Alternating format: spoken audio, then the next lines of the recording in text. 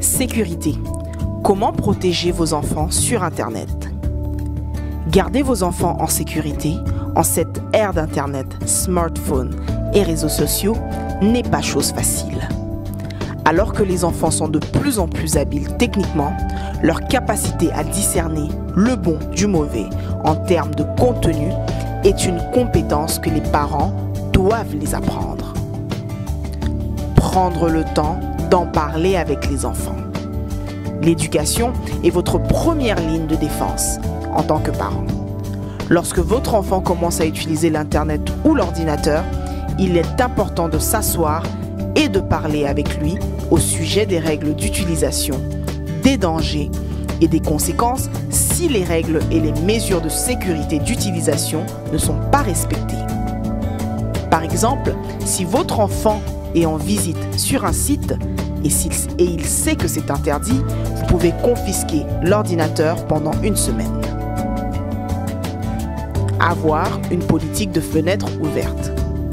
Conseillez à vos enfants que rien de ce qu'ils font sur Internet, leur téléphone ou iPad est privé. En tant que parent, vous devriez vous donner le, plein droit de vérifier la vie de vos enfants sur les médias et de leur expliquer c'est pour des raisons de sécurité et non par manque de confiance. L'utilisation avec but. Tout comme vous ne laisserez pas votre jeune enfant assis devant une télévision par câble en regardant n'importe quoi, surfer sur le web est encore de loin plus dangereux. S'il est à la recherche d'une nouvelle planche à roulettes ou à la recherche de Martin Luther King Jr., vous pouvez gérer les résultats de ses recherches plus facilement, savoir combien de temps il devrait prendre sur Internet et avoir une idée de ce qu'il fait sur Internet. Vigilance. Nous suggérons de garder l'ordinateur dans le salon avec l'écran clairement visible pour garder un œil sur ce qui est à l'écran.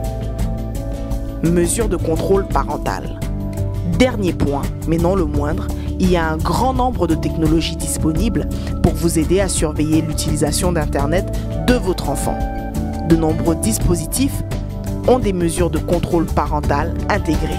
Par exemple, si vous configurez un ordinateur pour votre enfant, vous pouvez créer un utilisateur avec un contrôle d'administration protégé par mot de passe pour vous permettre de définir des restrictions sur l'utilisation de vos enfants. Vous pouvez configurer l'ordinateur pour couper à une heure précise, exemple à 22 heures.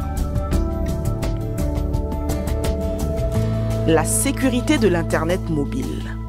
Il y a des applications, gérez ça. Nous savons tous que de nos jours, un smartphone mobile est aussi dangereux qu'un ordinateur. Encore une fois, vous pouvez contrôler le contenu au niveau du moteur de recherche en utilisant des outils comme la Safe Search de Google qui est accessible sur tout appareil mobile. Suivre les tendances de l'Internet.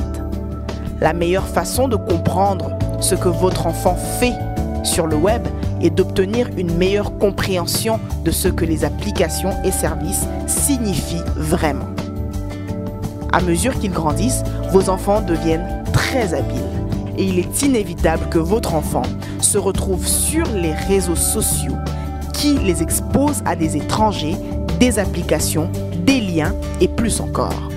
Cela ne signifie pas nécessairement que vous devez être ami avec votre enfant sur Facebook ou Twitter.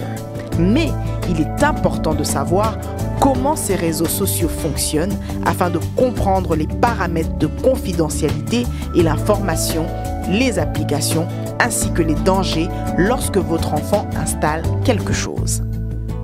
Tout compte fait, vous devriez commencer à éduquer votre enfant le plus tôt possible sur la sécurité Internet.